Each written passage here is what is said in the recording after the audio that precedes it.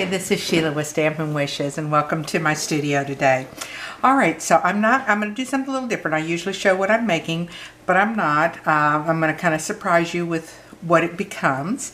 It was a bay window fun fold card that I happened to see on Rachel Tessman's uh, uh, channel or blog and uh, she had gotten it from Marie Taylor. And uh, so anyway I thought I'd give my try at it. I just thought it was so cute. So we're going to be using the itty bitty Christmas and from that we're going to be using thinking of you at Christmas and the blessed Christmas wishes. And then on um, this particular set I'm using um, the snowflakes. And when you cut these out and I cut it with the glimmer silver paper it will cut you out two individual uh, snowflakes. So we're using the smaller one and one of my ones that I'll show you later I had used one of the larger ones. So we'll see what the small one. This is what it looks like. I went ahead and pre-cut it so it'd be ready and I wouldn't have to bring all that in. So let's go ahead and cut our um, card up and everything that we need. We're using the Feel Like Frost paper and I'll show you uh, another one that I did uh, yesterday or this uh, yesterday evening that was made with the Perfectly Plaid and it was just gorgeous. So we're going to use our thick cardstock and all of your uh, products and uh, dimensions, measurements, scoring, everything's going to be on the um, video when it pops up and I'll also have it over at my uh, blog listed there as well. So uh, please feel free to go there. And if you're needing any of the supplies, I'd love to have you purchase them through my store. All right, so we're going to take our 8.5 by 11 uh, thick whisper white and we're going to cut it at four and a quarter up and down. And um, we'll set aside the other one for another card because we only need the one. Next, we'll move our blade out of the way because we're going to do our scoring. And we want to do our first scoring at 3 eighths. So there's our 3 eighths right there. So we've lined that up and we're going to score that. Then our next score is going to be at 1 and 7 eighths. So we're going to lay that down and we're going to score it. Our next uh, cut, our score, not cut, is going to be at 3 and 5 eighths. And remember whenever you're doing your 3 eighths or 5 eighths and you're using a 16th measurement, that the easiest way to, because two of the most popular um, score lines is uh, your 3 eighths and then your 5 eighths. So if you'll remember that before your half inch mark, that two little notches before then is going to be your, which are sixteenths, but that's going to be your 3 eighths. And then if you remember before your 3 quarters, the two notches behind it, or your 3 16, or 2 sixteenths, is going to be your 5 eighths. So that, that kind of gives you an easy way so you're not having to sit there and count each time. So we're going to go to 3 and 5 eighths, and we're going to place our score. Our last score is going to be at five and a half inches. All right. So we're going to set that aside for a minute. Now we're going to take our um, DSP, this is 6 by 6 and our measurement on this is going to be 4 and 1 8 by 6 inches. And since we want this, uh, because you saw the panels we put in it, we're going to want some panels to go in there. I'm going to take off the less um, designed portion of this paper. So I'm going to measure this up at 4 and 1 8 and we will cut that off. All right, set that aside for another project. All right, then what we're going to do is we're going to line it up. One of the most important things that you uh, need to remember from this is that as I cut and I lay it, I'm stacking them on top of each other. So the last one that goes on top will be my first one that I actually lay out and go all the way through them. And it's important for you to keep your scenery, especially if you're using a scenery like this, um, put together, okay? So we're going to cut at 1 and 5 eighths. So let's bring it over here to our 1 and come up here to our 5 eighths. And let's cut it. Our next cut's going to be at 1 and 3 eighths. So let's go ahead and bring it to our 1 and 3 eighths right here. And then our last cut's going to be at 1 and 5 eighths. So let's bring it back over here.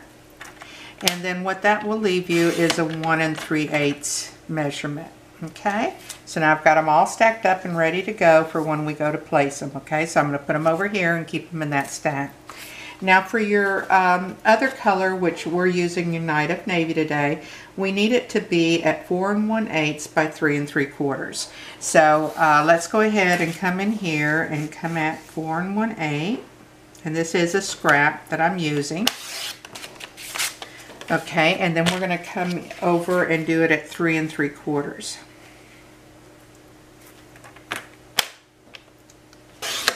Now on your short side, which this is your short side, your three and three quarters, we want to trim off two one quarter inch pieces. So I'm going to move this over here to our one quarter inch piece and we're going to cut it and we will set it over here with the rest of our items and we'll cut one more.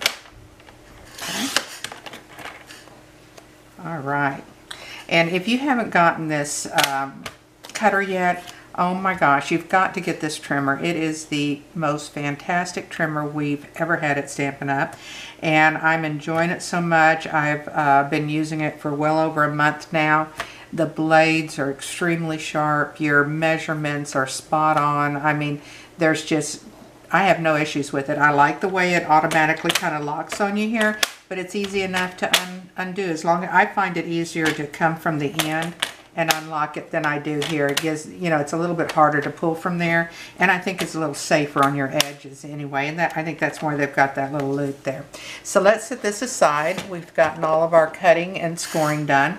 Now what we're going to do is let's go ahead and get our stamping together, and that way we can put this all together at one time. I'm bringing my Night of Navy out. Let's open it up and slide it in. And because I'm using the Timeless label, punch. I want to give myself enough space over here. And again, this is just a scrap of Whisper White that I had in my uh, scrap pile. And I'm just going to come in here. If you're not completely straight, that's not, not why I'm not worried really about doing the uh, Stamparatus because of the fact that um, if I need to maneuver my punch, I can straighten out if I get a little crooked. Okay? So let's go ahead and do that and put this to the side for a second while we punch. I've got my windows open today. It's a gorgeous day. I think it's in the 50s or 60s and I don't want any of my stamp pads drying out on me with the air coming in like that. Okay, so I'm going to go ahead and center this the best I can. I think this one looks good. Right there. Okay, we're going to punch that out and we'll set it to the side.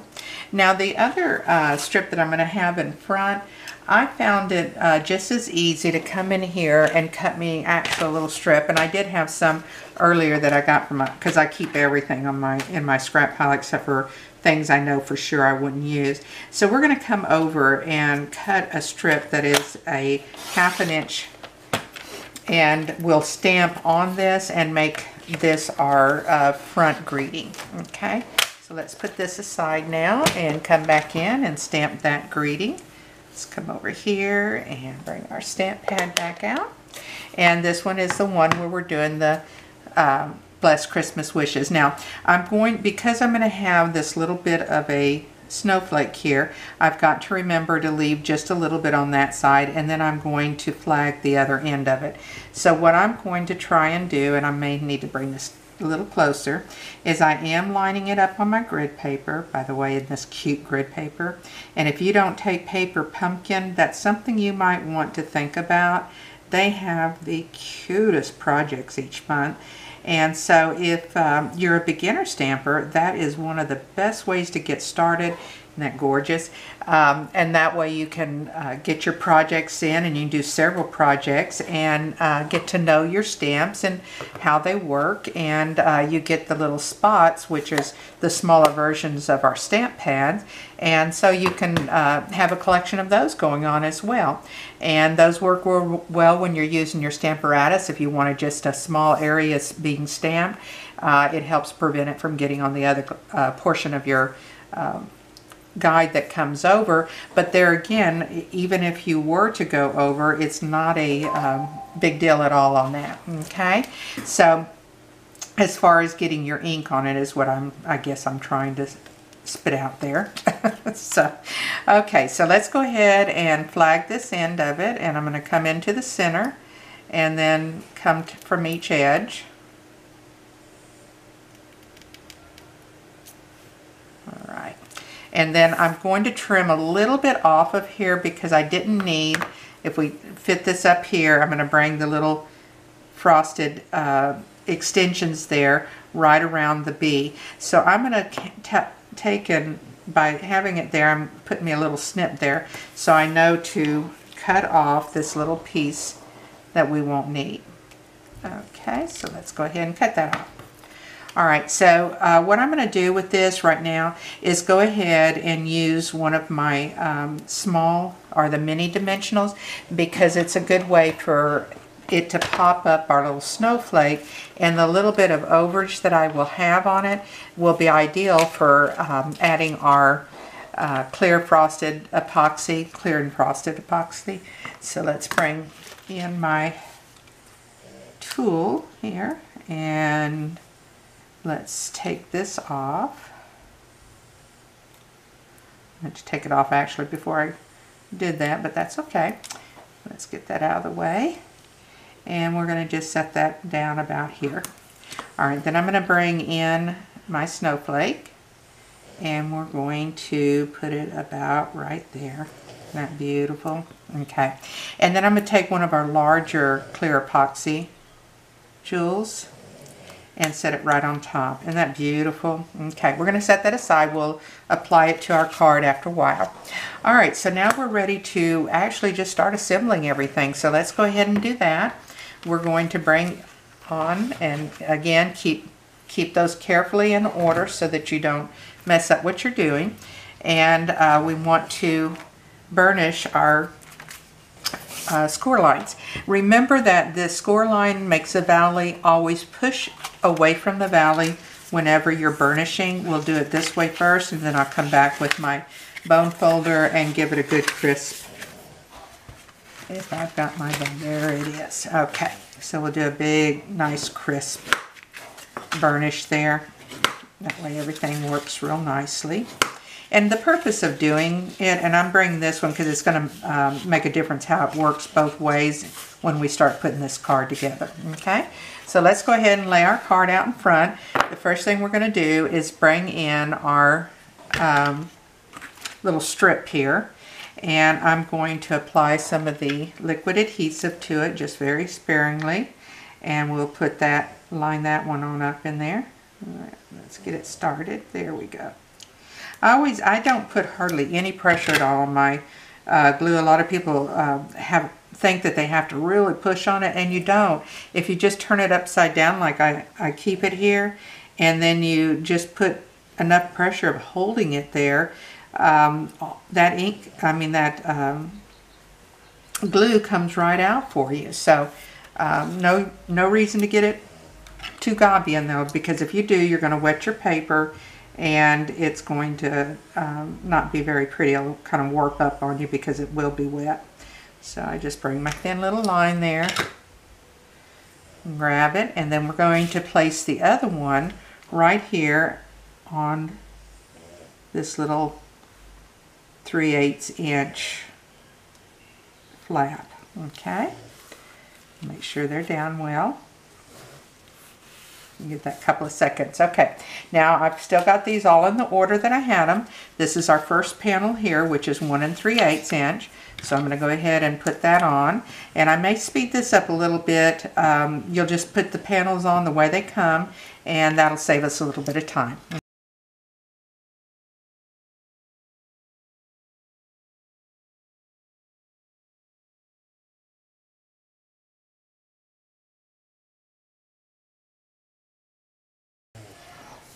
Okay, as you can see, getting the three panels on front, isn't that gorgeous how they just come across in the scenery?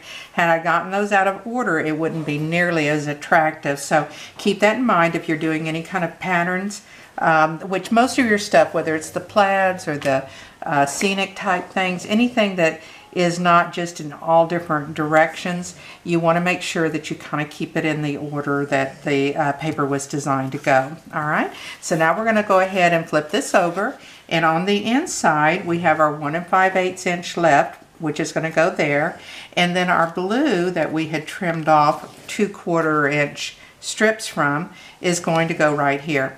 Now, if it's your uh, desire, you can add, and, and I'll show you one of my other cards, you can add a little white panel here, or you could use your uh, white chalk marker, or you could use your um, gel pen if you still have one of those from when we uh, sold them with Stampin' Up. I still keep those around, so uh, I can use them.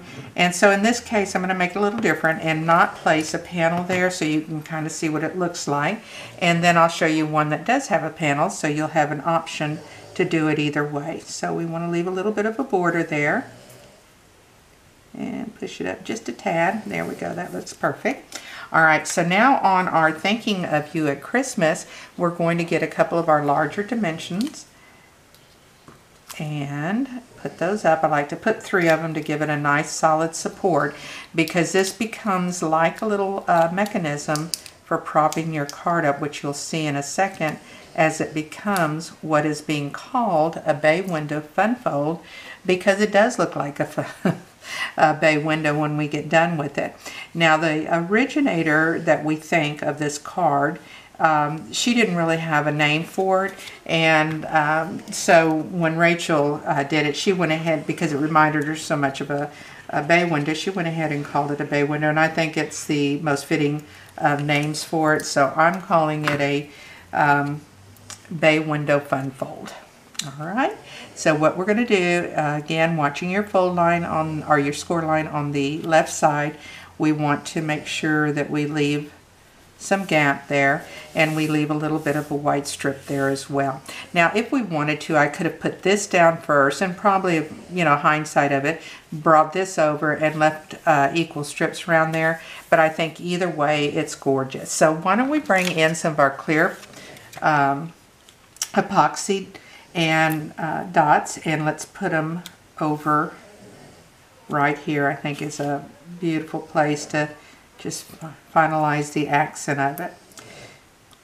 And you could use rhinestones, anything that you want to, but this kind of the, this type kind of reminds you of um, snow or melting ice, you know, so that's why I thought it was appropriate for it. Now we're ready to bring in our little tag here. Now to show you the magic of this card and why it's called a bay fold card is we're going to stick right here on the edge this card. And if you notice, it forms into a bay window. Isn't that gorgeous? Is beautiful. All right, so my decision here is where do I want to place this? I really don't want to place it where my um, beautiful scenery is and stuff like that. And so if somebody... All right, sorry for that interruption. Evidently my filming cut off right at the end of this when I was um, more or less talking about this and where I was going to place uh, my blessed Christmas wishes, so I decided to put it up there as a snowflake like it was falling down into the snow and the trees and the ground. And so when you get ready to mail this, you just close it up and um, they lay flat for mailing. Great size, you know, for your normal A2 uh, envelopes and the like. So let's go ahead and show you what all I did.